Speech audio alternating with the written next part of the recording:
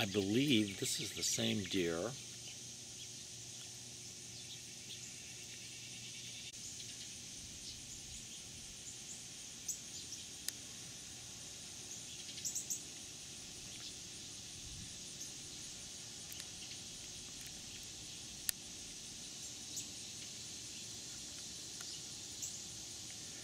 I believe this is the same deer in our neighbor's yard that was here in our yard yesterday or day before having a nice meal of seed.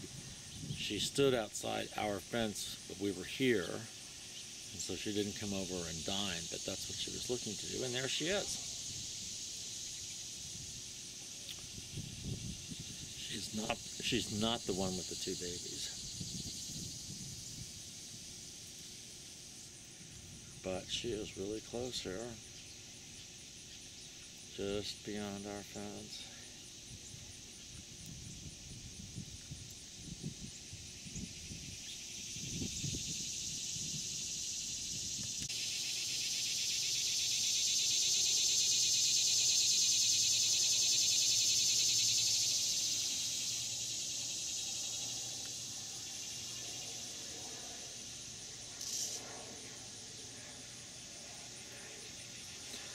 Yeah, she's right here in our neighbor's yard.